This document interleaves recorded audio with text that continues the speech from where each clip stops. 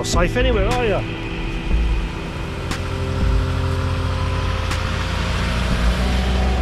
Hi guys and welcome back to my channel. Today I've uh, I've had a busy week so I thought today I'll come out to the woods just to chill out a little bit and shoot some photographs obviously on film and I've brought out with me today a camera that I haven't used for a while for no other reason than I haven't used it for a while. The Mamiya RZ67 which isn't the easiest cameras to walk around with uh, in the woods you know they're quite heavy it's like a big old brick in your hands but it's a quality camera and I do like shooting it. So I bought this out today. I'm to put this on the tripod. You can hear a woodpecker in the background. Can you hear that? There he goes hear that? Woodpecker and for me it's a perfect day to come out and take some photographs in the woods. There's not a cloud in the sky so I certainly don't want any landscape stuff. But I always come out with a plan. And today I thought if I'm going to go to the woods what am I going to take photographs of rather than me walking around and trying to discover stuff and think oh you know what should I do what should I do? I decided to just go for leaves. So I'm not going to go for any wide shots or anything like that. I'm just going to go for leaves on trees.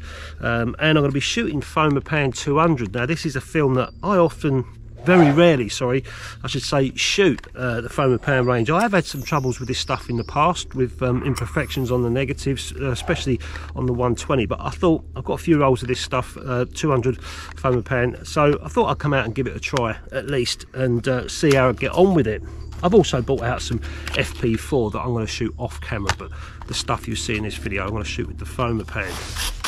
Rewind that film back and I'm going to now put some music in my ears and continue for another hour with the FP4. I'll show you those photographs.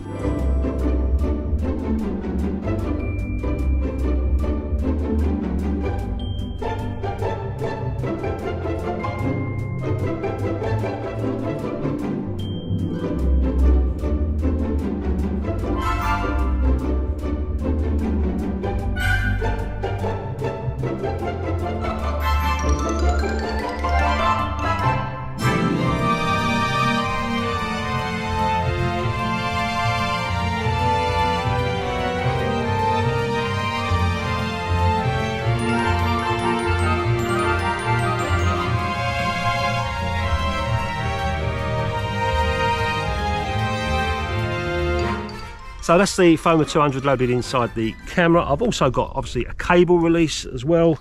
Um, I've got my light meter. I've got a grey card that I made out of an old t-shirt, all tested out. This one I use all the time.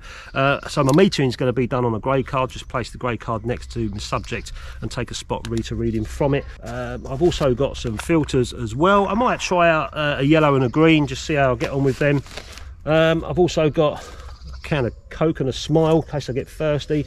I also brought out some water. The idea of the water is I'm just going to trickle it on some of the leaves and try and get something, um, you know, sort of emulate that it's been raining. I'm going to go for a yellow filter and I'm going to keep the yellow filter on all the time. These are Cokin filters that I've got. So if I just put the yellow filter on, keep that on all the time, and I've just got to remember to meter about a stop more exposure to compensate for the filter.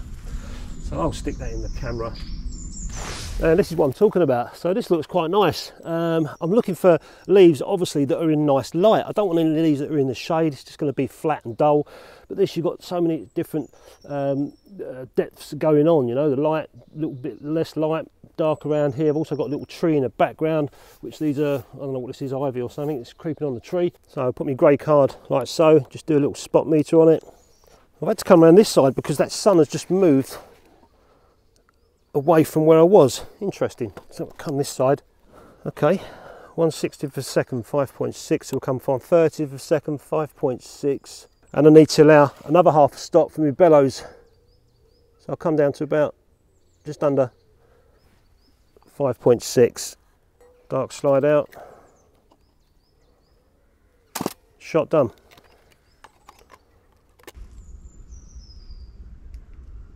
No. So give, this one's given me f8 160th of a second, so I'll come down to 5.6, keep it at 160th, allow for the bellows factor. Um, just drip it down slightly, one third of a stop under 5.6. That should be all right. Focused up. That's nice. Done. I'm just walking through and I've seen this wonderful little composition here with all this moss, some leaves going on as well. I've kind of come off track of what I said I'd be doing, but I couldn't resist this. Decide where I want to focus, that looks quite nice. Look how that comes out. This one's 5.6 at one fourth of a second, this fern, just right now while the wind's not blowing. So there's four photographs taken already. This is absolutely beautiful. I'm just walking around here. There's nice sun coming through. It's not too cold. There's hardly anyone about, and all I can hear really is planes going over and uh, the birds, that woodpecker. Now and again, someone walks past with a dog. It's just so beautiful and peaceful, you know, to take photographs. I said it's quiet. There's a bloody tractor over there. Where's the tractor getting here?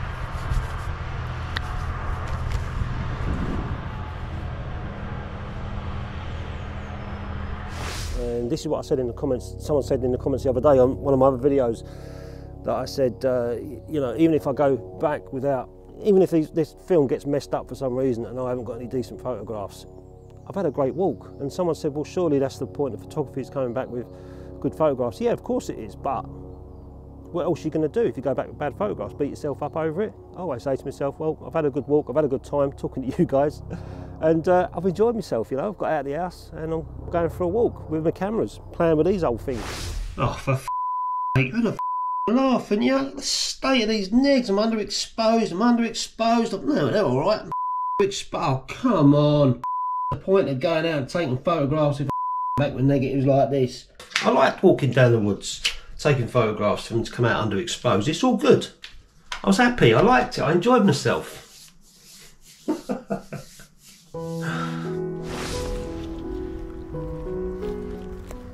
So I find this entry interesting. This this old log or this tree trunk sitting here. It's got all this moss and leaves growing over it. Done. I've just spotted this tree over here in sunlight. Hopefully I can get the shot. Ow! Get the shot in. Oh, just took a picture on its own. I need to get out of the way. So I've composed this so I've got kind of half of the tree trunk and you've got a blurry background over there. So all those shots I just took with the yellow filter on. I'm going to switch over to the green filter just for my own sanity and see what that does. I've never had much luck with a green filter. I've always managed to, oh shit, drop them. I've always managed to um, get underexposed shots with a with a green filter. I'll just put the green filter in there for a minute. What I need to do is just meter through the green filter and see what that's giving me. That's probably the best way of doing it. But with filters, um, generally the colour filter will complement the colour. So if you're shooting a tomato with a red filter, tomato will come out lighter. If you're shooting a banana with a yellow filter, the banana will come out lighter. If you're shooting green stuff with a green filter, the green stuff will come out lighter. And the idea is for it to give you a little bit more definition um, in your photograph. The, the green stuff without the green filter, they say, comes out, can come out quite dark. Depends what film you're shooting. Um, but let's get on with this. And then we'll put the filter in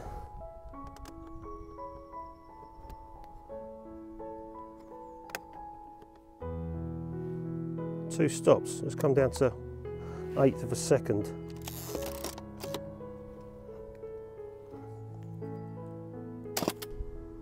I think it says one and a half stops for this filter on the Cokin website. We'll see how it works. I'm going to take the green filter out anyway and continue with the yellow. No, photography is not always at waist level, you know, or eye level.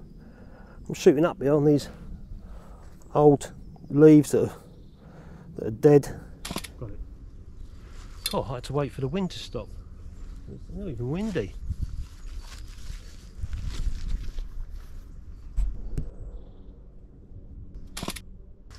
This is quite nice. In this picture, I've got some of this trunk here, all this ivy going up it, some of this bushland at the bottom. Take the shot. Done.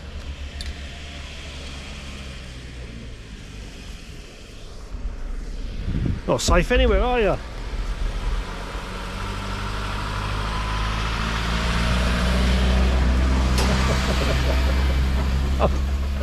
I said it was tranquil and quiet up here.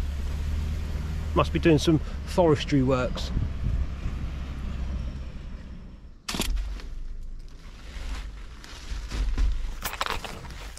And this is what I bought the water out for. Just to throw some drops, shine the leaves up a little bit like so, like it's been raining.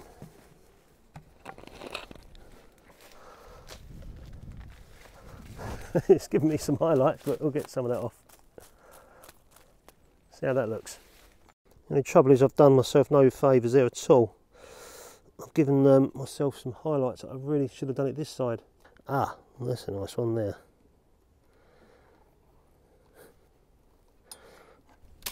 Done. So some of those Fomapan 200 negatives came out all right and some of them didn't. Some of them was a bit underexposed I noticed but the ones that wasn't overexposed looked really nice. Nice fine grain and bags of tonality in there. So, you know, I, am not going to sit here and slate a film just because I may have made a mistake in the metering and underexposed a shot. I know a lot of people enjoy Fomapan 200 and have got it down to an art with their own development and their own cameras and their own photography process. And as for the green filter, I've, I've never managed to get that right. I don't know if my green filter filter's wrong. I don't know. What do you reckon? The Cokin filter that I've got, the green one. Whenever I use it, I just underexpose, even though I allowed two stops for that. I think even if I had allowed three stops, I still wouldn't have seen lighter green. So I might have to try another green filter. Let us know in the comments if you've got one of those Cokin green filters and how it works for you, works for you, because it don't seem to work. My one for me never has. But the main point of the video is going out and taking some photographs in the woods in some spare time, trying to play around with that Foma 200. And, you know, that's why I took the FP4 because um, I wasn't too confident shooting it. But uh, I'll go through some of the pictures and what I think of them. So that was the very first one that I took and you can see clearly that one is underexposed. Nice composition but uh, underexposed. Maybe in a darkroom on a print I could have made that look quite nice. Um, even in Photoshop I could still try and make it nice but uh, these are just DSLR scans. The next one I did in the Foma, that one came out quite nice, loads of tonality there. I did notice that I've got some very light scratches on that Foma film, possibly where I scanned them. So it makes me think that this Foma stuff is, you know, it's um, easily scratchable. Uh, that was quite a nice one. Bags of sharpness in there as well, very sharp. As for that picture there, the composition, I think that's quite nice with the moss on the logs. Nice tonality in that one. Uh, that was a bit underexposed as well, but I managed to sort of pull that back out a little tiny bit. Uh, that little log, that didn't come out too too bad, but I could have done with uh, shooting that maybe F11 or F16 and got more depth of field going on in the background, so that wasn't too great, I suppose. Uh, that one there, a little tiny bit out of focus. On, oh no, that was the one that the camera accidentally went off. Um, I was just trying to compose and the camera went off. I was just about to pull that one apart. That was the next shot. That was quite nice, nice composure. But again, you can see these leaves are green. Uh, maybe a green filter, if I could get it right, would have done its job by lightening these green leaves up. Um, but uh, they do seem a little bit dark. Nice composition though. Uh, that was the one where I tried without the green filter. I felt that one was a little bit underexposed. Uh, that was without the green filter. And then with the green filter, allowing two stops. Um, hmm, interesting. Uh, that was one of the dead leaves.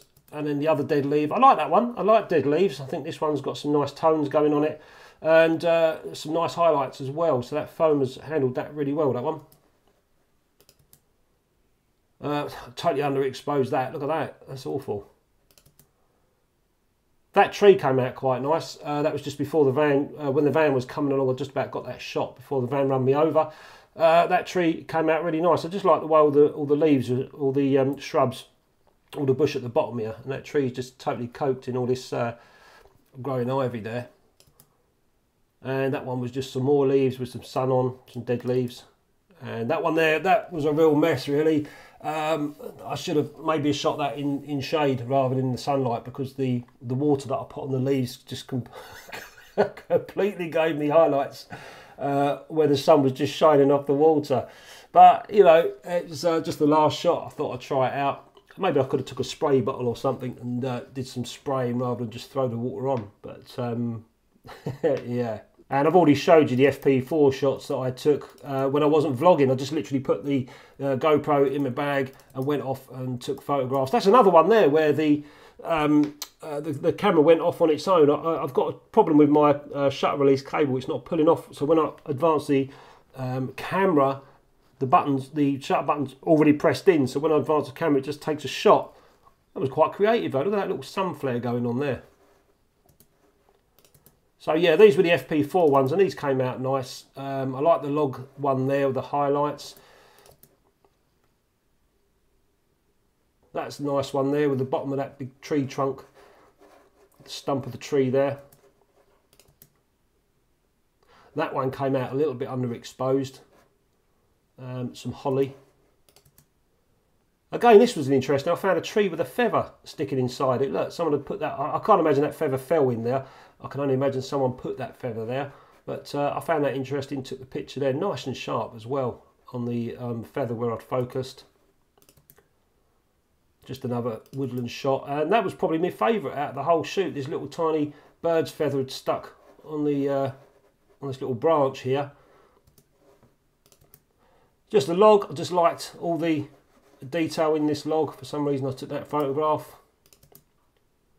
And another one there with the branch going up the tree. I just find it interesting how all this wildlife, uh, all this wildlife, all these, uh, all this nature can just start clinging to itself like that tree and growing up it. And that one there was a light coloured leaf against a dark coloured leaf in the sun. You can just see the sun shining on the other leaf there. So those were the photographs that I took. I certainly preferred the FP4 ones than the Foma 200, but I, I, I, can't remember the last time I'd shot Foma 200 to be honest with you and if I had done it's only been a handful of times uh, I've mostly shot Foma 400 but with the Foma 200 it's just a case of getting used to a film getting used to the development and your own photography process and making it work for you I'll have to practice with the Foma 200 and see its strong points and weaknesses with my personal photography, uh, especially out in the woods in bright sun using a grey card to meter on. But uh, the FP4 ones came out all right, so it wasn't a completely waste of time. I enjoyed myself walking around the woods and taking photographs and making a video for you guys to see. I'll catch you next time.